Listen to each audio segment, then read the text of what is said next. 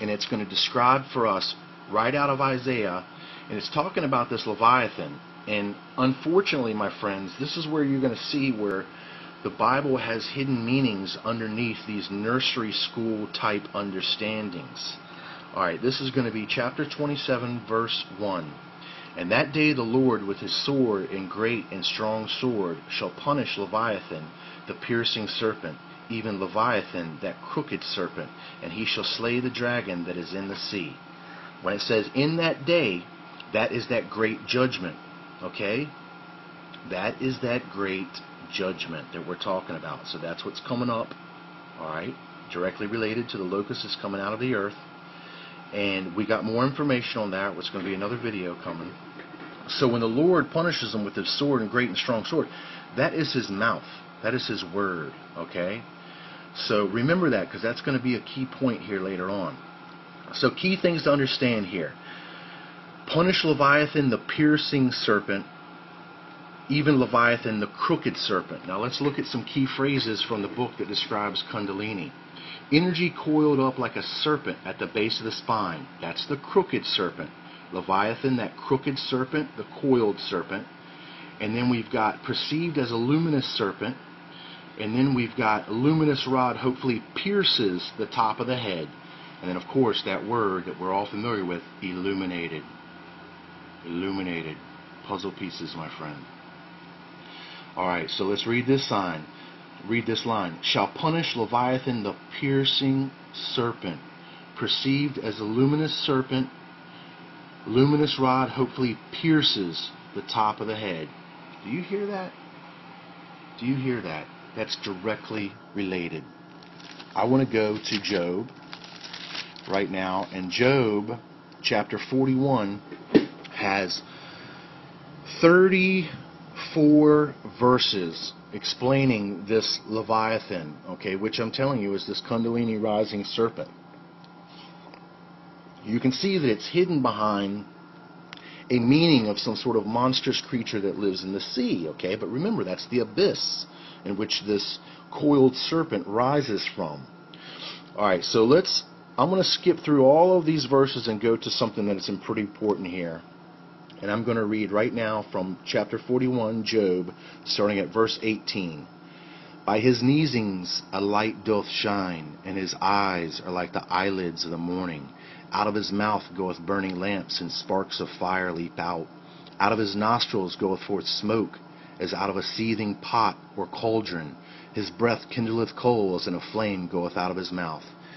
All right, now all that stuff about the fire, the smoke, and the coals, you're going to recognize that in, at the fifth trumpet with what these locusts have coming out of their mouth.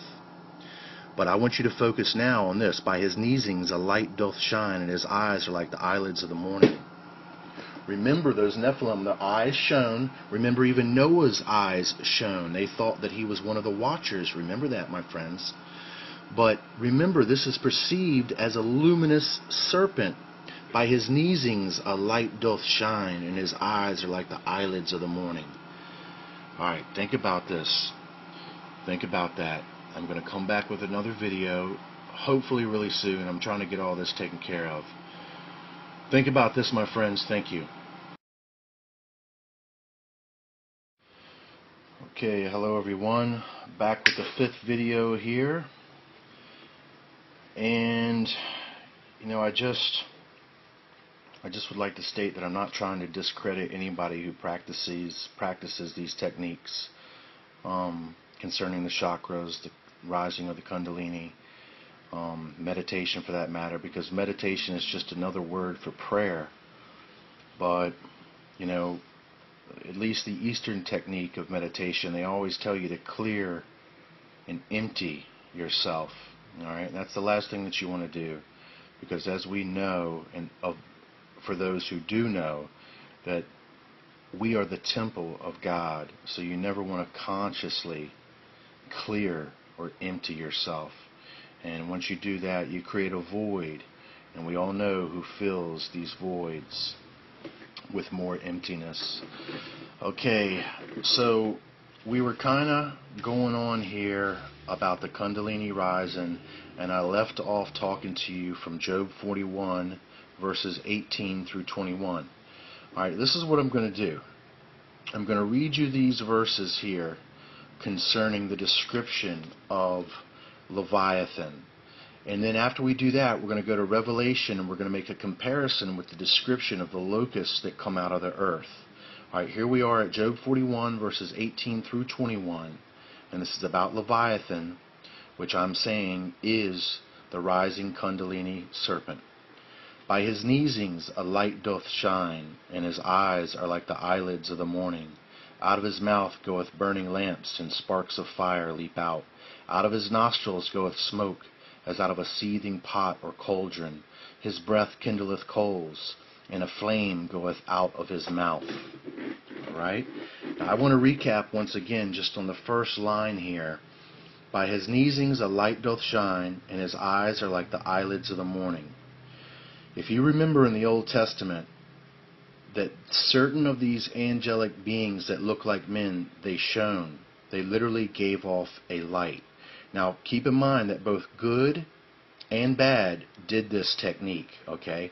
And then also remember that story that when Noah was born, look it out, check it out in the Bible, the story of when Noah was born, I can't remember the verse, but uh, his eyes shone.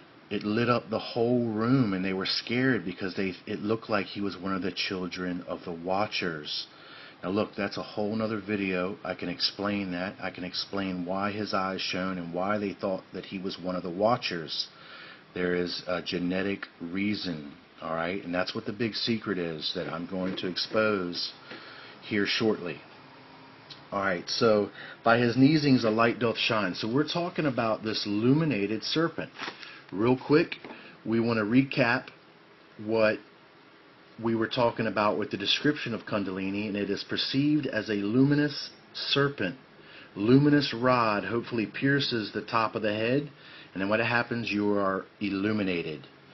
Alright, so I'm pretty sure that you can make the connection there with this being the illuminated serpent because if you read 1 through 34 that's all it is about is about the description of this serpent so when we go down and we go out of his mouth goeth burning lamps and fire out of his nostrils goeth smoke and his breath kindleth coals as a flame goeth out of his mouth now I want you to listen to Revelation chapter 9 which should be the fifth trumpet and we're going to get the description of these locusts as they're first coming out of the earth. And here we go. This is Revelation chapter 9, verse 3. And there came out of the smoke locusts upon the earth, and unto them was given power, as the scorpions of the earth have power. All right, now think about this. These, these locusts have come out of the earth all right, now I'm telling you that the locust and these ancient sons of God are the same thing. All right? They've been given power. Now think about the description of the Kundalini being the energy or the power. All right? Now I want to go to Revelation chapter 9 and we're going to read 17, verses 17 through 19, and you're going to get a further description that we're going to be able to identically compare to the description from Job concerning the details of this Kundalini. And out of their mouths issued fire, smoke, and brimstone. By these three was the third part of men killed, by the fire, and by the smoke, and by the brimstone which issued forth out of their mouths. For their power is in their mouth and in their tails. For their tails were like unto serpents, and had heads, and with them they do hurt. Wow. So, that is incredible. I was astonished when I found that comparison, to say the least. So, we get the Kundalini description being the luminous serpent with the light doth shine, and his eyes are like the eyelids of the morning. We directly related that back to the watchers and the physical descriptions of those beings in the past, the shining bodies with the light eyes. Plain and simple, the same beings and the same technique that we're going to see take place coming here in the future. And then it gives us out of their mouth fire, smoke, and kindleth coals. Now, here we go to the description of the locust, which have out of their mouths fire, smoke, and brimstone, which is those kindleth coals. Do you hear that? Do you have eyes to see and ears to hear? As I said before, I think you do. I think you do. I think you can hear that quite clear. Now, let's kind of reveal what it's actually really saying. It's not saying what we've all been led to believe. This alien invasion, flying saucers flying around with lasers, shooting everybody, disintegrating everybody, and all that stuff. No. All right, that's not going to happen. That's just to create more fear, more confusion, more detours, more roadblocks, more misunderstanding, more misinformation. All right, it's to keep you preoccupied from finding the truth in the truth of it like you are right now. So I'd like you to understand here that we have free will. All right? If you listen to some of these videos like the Pleiadian, the Galactic Fed, and the you know the Arcturians, and there's just so many of them. It's just so unreal. If you listen to them, what do they always say? That we respect your free will. Ha! They have to respect your free will, my friends. That's the decree that's sent out all throughout the universes of time and space. They have to respect our free will. There's nothing that they can do to you against your free will, and they know it. And they know it. They need you. That's what this that's what this lie is all about. They, they're like vampires. You have to invite them into your home. That's where that free will legend comes from. It's, it's admixed with them, feeding off of you. They need you. We are literally the water underneath their boat. They cannot be the gods that they hope to be if they have no worshippers. You can be no leader if you have no followers. And they know that and they understand that. And they have been preparing for so long, so long for this day.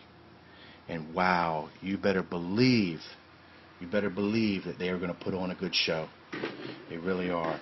So let's reveal what the nature of this fire, this smoke, and this brimstone is. It's their doctrine. You hear that? It's their message. The fire, the smoke, and the brimstone is their illuminated, cunning, deceptive, intellectually ingenious message. Now, they're not like regular men who have experienced this meditation, chakras, and kundalini, okay? They are magnified thousands of times greater in the power implications of this technique in their systems because remember their systems are of a higher genome okay? They have a higher intellect. They have a higher spiritual nature. They're more spiritually evolved than we are. Remember my friends they are not rebelling against the spirit okay? They are of the spirit. That's why all of their their their words are so similar that's why they're so cunning, because they're coming to you, because they understand you so well. They understand everything about your physiology, everything about your emotional response, everything